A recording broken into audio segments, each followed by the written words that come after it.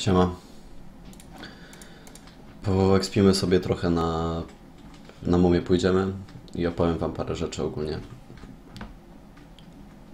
Trochę głupio mi jest tak gadać o takich rzeczach, ale tak jak ogólnie czasem mówię jakieś takie poważniejsze tematy na moich materiałach, to są ludzie, którzy po prostu wyciągają wnioski z tego.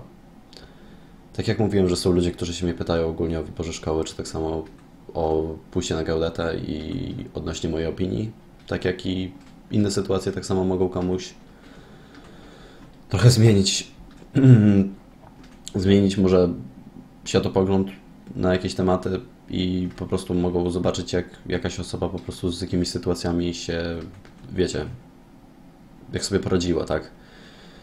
E, powiem Wam, że pisaliście ogólnie odnośnie tego, jak to jest z moją dziewczyną i jak to wygląda ta sprawa. No to powiem Wam od podstawy. E, półtora roku temu we wrześniu zacząłem być z dziewczyną, z którą z którą po prostu byłem, było ok. Ona kończyła szkołę, ja pracowałem w, Polsce, byłem geodetą. Tak naprawdę wtedy byłem zupełnie innym człowiekiem, miałem zawyżoną, znaczy zawyżoną, miałem po prostu wartość siebie, znałem inne wartości. Też miałem pewne braki oczywiście, mm, ale po prostu do wartość siebie na pewno miałem wyższą niż obecnie. E, zacząłem być z nią i z początku było niby wszystko ok, tak, były też kłótnie, oczywiście tych kłótni było czasem więcej. W maju czy w czerwcu, chyba w czerwcu, e, w 2018 roku wyjechaliśmy za granicę.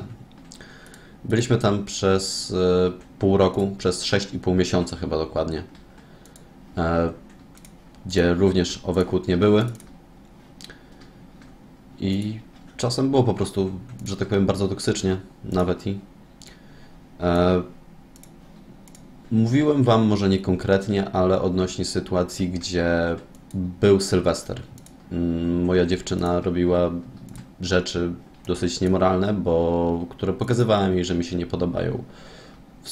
Chodzi o to, że kiedy ja patrzyłem na to, dotykała się z. Znaczy, może nie dotykała się, ale po prostu była dotykana przez innego mężczyznę, gdzie jej się to podobało. Potem przyszła do mnie i powiedziałem jej, że wiesz co, Patrycja, ale jednak to jest dosyć nie fair i nie chciałbym, żebyś tak robiła. Wyszło potem, że tak naprawdę nie była nadal bierna. Po prostu mam za złe to, że była bierna i dużo to nie zmieniło, bo potem wróciła do tego samego miejsca, gdzie była narażona na powiedzmy kontakt z y, tą osobą. I o to miałem jej bardzo duży żal, tak? No bo różnie można interpretować zdradę. Jeden człowiek za zdradę może uznać rzecz A, drugi rzecz B i są różni ludzie, są różne poglądy, tak? Jakby się tego nie domagać, to można powiedzieć, że ową zdradą to było. Bo zezwoliła powiedzmy na takie zaloty, a jej się to podobało, patrząc mi po prostu w oczy i i tyle, tak? Ja, a, też tak powiem, jeśli ona to ogląda i w ogóle, to też chciałbym być ogólnie uczciwy i nie chciałbym mówić tylko i wyłącznie o rzeczach, które robiła względem mnie źle. Bo ja też nie jestem człowiekiem idealnym, też mam dużo wad. Na przykład, może byłem trochę za skąpy, może też po prostu czasem porywały mnie emocje. Bo sporo rzeczy, których tak samo ja zawiniłem. Wróciliśmy do Polski. Ja nie było mi łatwo. W Polsce chciałem się z nią rozstać Wyglądało to w ten sposób, że ja tylko czekałem do sytuacji, gdzie przylecieliśmy samolotem do Polski i wiem, że to był może brak szacunku, ale po prostu jej powiedziałem na dworcu, żeby po prostu dzisiaj nie wracała do mnie, tylko żeby wracała właśnie do siebie i że chciałbym po prostu dużo rzeczy prze, przemyśleć, chciałbym po prostu trochę czasu i uważam, że możliwe, że to zostanie skończone, tak? E, myślałem o tym wszystkim i doszedłem do takiego wniosku, że może jednak jest nadzieja. Ja tą nadzieję cały czas widziałem. E, I ja tą nadzieję cały czas widziałem i jakby to powiedzieć, no cały czas się łudziłem, tak? To wyglądało często w ten sposób, że nie widziałem w niej tej inicjatywy, ale ja próbowałem zrobić coś takiego. Ty wiesz, Patrycja, chciałbym. Ja dosłownie musiałem. Jak były jakieś rozmowy, czy były po prostu jakieś problemy, to wyglądało w ten sposób, że jedna osoba czasem musiała robić to ze dwie osoby. Czasem może były jakieś przebłyski, że jednak chciała coś zrobić, ale tak naprawdę uważam dzisiaj, że wiele zachowań jej było niedojrzałych i też z racji na jej wiek, no po prostu nie jest jeszcze moim zdaniem osobą dojrzałą, która dojrzale myśli tak naprawdę o życiu. E, No ale dobra, koniec końców wyszło tak, że w Polsce postanowiłem zaryzykować. Wiele osób uznałoby coś takiego, że to jest głupie, że jednak trzeba było to w końcu skończyć, że jednak to już było nie to, ale ja po prostu nie chciałem patrzeć w przeszłość. Wyszedłem z takim wnioskiem, że jeśli będę patrzył się wyłącznie w przeszłość, to rozdrapywanie przeszłości może dużo nie dać, a wyciąganie jedynie wniosków z przeszłości, więc po prostu chciałem, żeby, no nie wiem, ułożyć to jakoś wszystko na nowo. I wszystko tak naprawdę miało być ku lepszemu.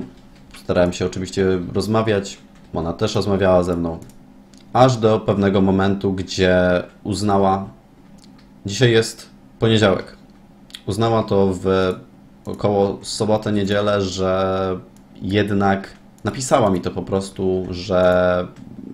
Bo zapytałem się jej, dlaczego jest taka oschła względem mnie. O, kurwa, hero zdobyłem. E, Zapytałem się, czemu jest tak oschła względem mnie. Powiedziała, że ze względu na to, że uważa, że to wszystko jest przyzwyczajeniem. Przyzwyczajeniem jest to, że jesteś z kimś przez półtora roku, przez pół roku mieszkasz z tą osobą, widzisz ją cały czas i koniec końców dochodzisz do takich wniosków, że to jest jednak przyzwyczajenie. Mówiła mi również, że nic do mnie nie czuje, a jednocześnie mówiła, że mnie kocha. Co tak naprawdę moim zdaniem to są dwie różne tak naprawdę dwie, dwie odmienne rzeczy, ale koniec końców i tak doszedłem do tego, co miała dokładnie na myśli, bo uważam, że nie potrafi dosyć dobrze precyzować własnych myśli, ale no w sumie dużo jest takich ludzi, którzy po prostu mają problem z e, omawianiem swoich, po prostu ze swoich myśli, tak? I przelewaniem tego wszystkiego. Ale tak naprawdę to nie jest ważne. E, I było tak, po prostu mi to napisała, tak? To napisała mi po prostu to, że jednak to jest przyzwyczajenie, że jednak ona tego nie chce. No i właśnie sam fakt, że no jednak ja rozumiem, że jest XXI wiek, ale uważam, że takich rzeczy nie powinno się robić. Takich rzeczy po prostu nie powinno się robić przez internet. A sam fakt, że no jednak nie zechciała spotkać się ze mną, nie zechciała mi powiedzieć tego prosto w oczy, nie próbowała mi jakoś przystosować do tej rozmowy, tylko wyłącznie mi to napisała, to mam o to głęboki żal. Bo nie powinno to tak wyglądać. Skończyło się to tak, że od, jak była niedziela, to od godziny 16 do godziny 6 dzisiaj nie spałem w ogóle. Nie mogłem w ogóle pomyśleć o czymkolwiek. Każda minuta dla mnie, przepraszam, każde 5 minut czasu, na które czekałem, żeby po prostu była ta szósta i ja mógłbym pojechać do innego miasta e, i się po prostu z nią spotkać i to wszystko wyjaśnić, tak jak cywilizowani ludzie w świecie realnym, a nie roztrząsać czegoś takiego przez Facebooka, bo no, są rzeczy, których jednak się nie przeskoczy, tak? Jednak no, nie da się zastąpić relacji międzyludzkich w świecie realnym tak naprawdę pisząc do kogoś. Bo równie dobrze to ludzie mogliby się dzisiaj w ogóle nie spotykać. No ale mniejsza o większe. Siedziałem do tej 6 godziny, napisałem jej chyba ze 180 y, naprawdę długich wiadomości, gdzie nie były to wiadomości, że o, że mam ci żal za to, znaczy to też. Chodzi o to, że ja starałem się to wszystko jakoś argumentować i napisać po prostu wszystko jest sensem i wytłumaczyć, jak wygląda sytuacja. O to, że mam jej żal za to, że zrobiła to w taki sposób, a nie inny. Drugi, że no jednak jak uznała, że nic do mnie nie czuje, to coś takiego nie może się stać z dnia na dzień. Uważam, że po takim dłuższym okresie czasu nie da się kogoś przestać kochać tak naprawdę z dnia na dzień. Więc tak naprawdę widocznie krzywdziła mnie już od dłuższego czasu. I cóż, spotkałem się z nią dzisiaj. Uznała jednak, że to nie jest to. A ja po prostu nie miałem już zupełnie szacunku do siebie, po prostu ją prosiłem, po prostu ją błagałem. Obiecałem jej naprawdę wiele rzeczy, że mogę zmienić, żeby po prostu tylko, po prostu żeby tylko była. Związek nie ma dużo wspólnego tak naprawdę z mm, mózgiem, bo człowiek w miłości się kieruje tylko i wyłącznie sercem, więc ciężko jest myśleć naprawdę racjonalnie i człowiek w takich chwilach potrafi robić głupie rzeczy. Chciałem ze sobą skończyć i targnąć na swoje życie. Nie udało mi się. To i w sumie to tyle. Jakie mam wnioski na dzisiaj? Muszę odbudować tak naprawdę dużo rzeczy od nowa. Muszę tak naprawdę po pierwsze dojść do wniosku, co chcę właśnie zrobić dalej w życiu. Po drugie, no wyciągnąć wnioski ogólnie z tej całej sytuacji i z relacji e, z drugą osobą, tak? Bo powiem Wam, że dla niej poświęciłem bardzo dużo. Dużo osób się dzisiaj do mnie nie odzywa ze względu na nią. Ja postawiłem tak naprawdę wszystko na świecie ponad nią. Zostawiłem pracę w Polsce, która była dobra. Zostawiłem znajomych. Niektórzy dzisiaj się nie chcą do mnie w ogóle odzywać i mają mi wiele rzeczy za złe. Ale jednak dokonałem tego wyboru. I gdyby to wszystko się jeszcze ułożyło, to ja nie miałbym o to jej żalu. Nie miałbym o to żalu, ale no wyszła taka sytuacja, nie inna. Teraz muszę to po prostu wszystko ogarnąć i podnieść się. Dlatego będę grał w Morgonem. Nawet taka mała głupia gra, ale jak po prostu, nie wiem, mi to akurat dużo daje, że mogę sobie po prostu posiedzieć, pogadać, że są ludzie, którzy jednak słuchają tego, co mówię.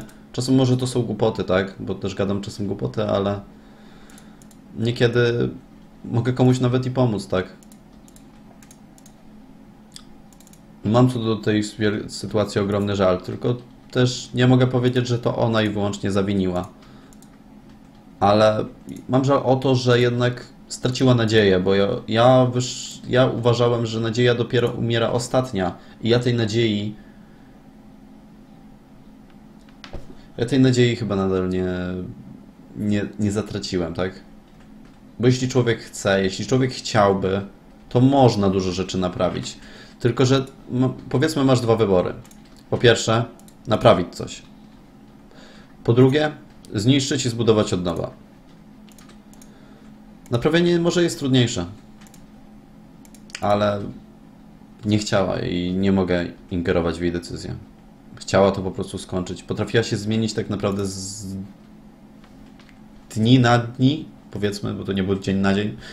No ale pod wpływem kilku dni zmieniła swoje zachowanie względem mnie diametralnie. Nie była już tym samym człowiekiem, nie darzyła mnie tym samym uczuciem, nie darzyła mnie nawet żadnym szacunkiem. Byłem po prostu nikim i chyba nadal jestem. Więc powiem Wam, nie ma co się zamykać tylko i wyłącznie na jedną osobę w życiu. Bo człowiek się może ostro przejechać. Tak naprawdę człowiek może chyba tylko i wyłącznie polegać wyłącznie sam na sobie. Z jednej strony mogę się też cieszyć z tego, że to nie poszło dalej, że nie była moją żoną, że nie mieliśmy dzieci, bo później coś takiego by było dużo bardziej skomplikowane. Więc też staram się nie. Staram się po prostu popatrzeć w tą lepszą stronę, że mogą być i tego również i plusy. No cóż, mm, jakie mam plany na tą grę? Biłem ostatnio parę razy Renegata. Mm, jak będziecie chcieli, to jeszcze coś się tam nagra na tych momiach powinienem jeszcze coś poekspić sobie, tak? E, wiecie co, zerknę ile to się nagrywa. 13 minut dopiero, czy 14. No to w sumie. No więc powiem wam tak, że po prostu muszę znaleźć jakąś motywację w sobie. A może sam. Powiem wam tak. Um, ogólnie uważam, że łatwo, łatwiej jest, jeśli motywacją dla ciebie jest osoba druga, niż jesteś nią ty sam. Tak przynajmniej uważam, bo łatwiej jest chyba zrobić, robić i cały czas robić coś dla kogoś niż dla samego siebie. No oczywiście są też egoiści, którzy na przykład myślą tylko i wyłącznie o sobie, ale wiecie, ja przynajmniej tak uważam. No cóż, powiedziałem wam, co sądzę na ten temat, a czy powiedziałem wam ogólnie całą sytuację i no chyba to tyle. Postoję sobie jeszcze chwilę na Mortenie. W wolnych chwilach staram, będę starał się jakoś uporządkować swoje życie. Może na basen się zapiszę, może na siłownię pójdę. cokolwiek po prostu, żeby się zająć i nie załamywać się.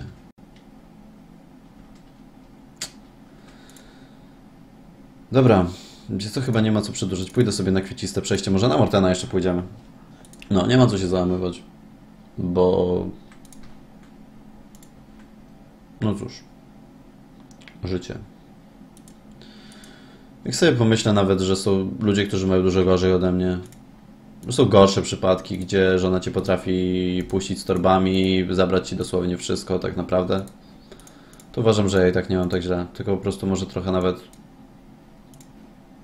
Może trochę po prostu to wyolbrzymiam. Ale nie jest mi łatwo po prostu sobie z tym poradzić. Może nie jestem tak bardzo wytrzymały psychicznie. I ale ja mogę ze swojej strony powiedzieć, że ja szczerze kochałem. Ja nie mogę powiedzieć, że dla mnie to było przyzwyczajenie czy jakakolwiek zabawa. Powiem Wam paradoksalnie, tak jak, jak patrzę ogólnie na wiele sytuacji, na wiele ludzi, to chyba lepiej jest już być naprawdę jebanym skurwysynem i napierdalać żonę, niż yy, po prostu być dobrym dla płci przeciwnej i po prostu zbudować relację opartą na szczerości i wzajemnym zaufaniu. Ogólnie zbudowanie takiej relacji jest trudniejsze, tak? Ale jak pójdziesz po takiej najmniejszej linii oporu, to nie wiem dlaczego, ale kobiety jednak kupią to i takie życie na przykład w niewoli i tak dalej będzie im pasowało do usranej jebanej śmierci. Więc to już takie ogólnie relacje męsko-damskie nie są, nie należą do łatwych i nie ma jednego prostego schematu tak naprawdę. Można by było rozmawiać o tym tak naprawdę dniami i myślę, że do jednego wniosku nigdy by się nie doszło. Jest wiele scenariuszy, to tak naprawdę, nie wiem, różnica charakterów, różnica z jakiej rodziny kto się wywodzi, różnica wartości, marzenia. Dosłownie wszystko można wziąć pod tą uwagę. Temperament drugiej osoby.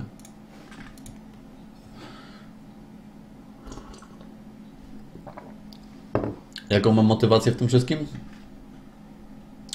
Że mimo, że straciłem wiele w życiu, to jednak cały czas mam siebie. No i mnie to w sumie nikt nie zabierze. w sensie, no, że nawet mogę poprowadzić sobie monolog. O to mi chodzi. Że jestem tym człowiekiem, którym jestem, mam to, co mam i muszę chyba bardziej zacząć doceniać wiele rzeczy. Nie ma tutaj Mortena. Dobra, wiecie co? Nie będę przedłużał. Jak chcecie, to piszcie komentarze, łapkujcie i tam subujcie, jak sobie tylko chcecie. Ja chyba będę przed spać, bo powiem wam, nie spałem około 30. Żeby was nie skłamać. 11. Jakieś 30 godzin myślę. 29-30 godzin nie spałem. Teraz poszedłem spać na chyba jakieś 2-3 godziny max. Max. I jestem jeszcze bardzo przybity tym wszystkim. Dobra, wiecie co? Trzymajcie się. Siema.